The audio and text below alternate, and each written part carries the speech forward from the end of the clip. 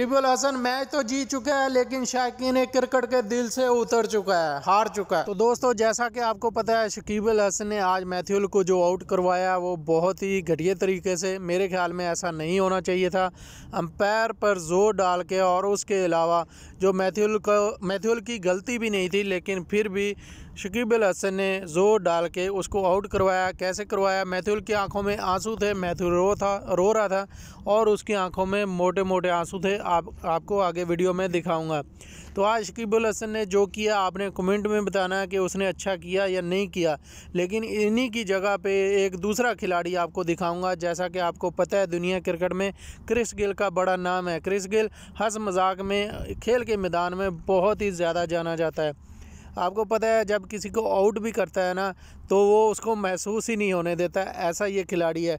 ये दिल जीत लेता है, लेकिन आज जो शकीबुल हसन ने किया ना, वो भाई बहुत ही घटिया काम किया। क्रिस गिल से सीखना चाहिए कि कैसे क्रिकेट खेली जाती, कैसे किसी का दिल जीता जाता। आपने आउट करना है तो कोई तरीका होता है। पाकिस्तानी टीम भी खेलती है तो वो भी किसी तरीके से आउट करती है।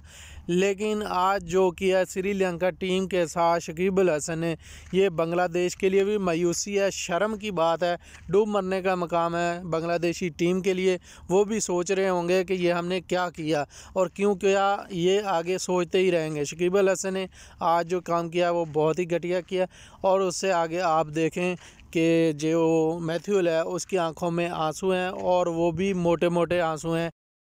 तो मैं एक पाकिस्तानी होने के नाते मैं ये दुख से कहता हूँ कि आज जो किया है ना शकीबुल हसन ने मैथ्यूल के साथ, वो बहुत ही बुरा किया। देखें मैथ्यूल कैसे रो रहा है। उसकी आँखों में आँसू हैं अपनी टीम के लिए, अपने मुल्क के लिए। तो ऐसा नहीं करने चाहिए था शकीबुल हसन तुझे, लेकिन आज तुम, मैं तो जीत गए हो, लेकिन लोगों के दिलों में हार गए हो।